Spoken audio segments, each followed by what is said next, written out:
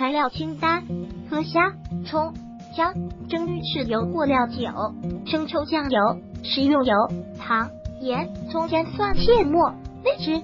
碗里放入蒸鱼豉油或黄酒、生抽、酱油、白糖，用少量冷开水吊开。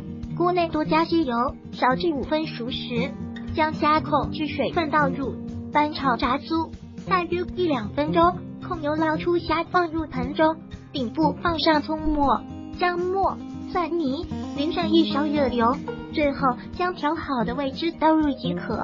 味汁的口味可以调好后自己尝尝来决定咸淡。酱油和料酒、黄酒购买时，看瓶子上一般都会标注能否直接食用。味汁可以按自己的喜好调整，爱甜的多加点糖，爱酸的还可以加点醋，爱辣的自己放点辣椒。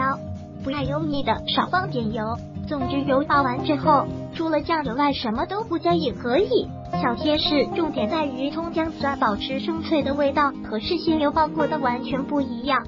所以，假如用油先炒了葱姜蒜，成品味道会大相径庭，就是油爆虾了。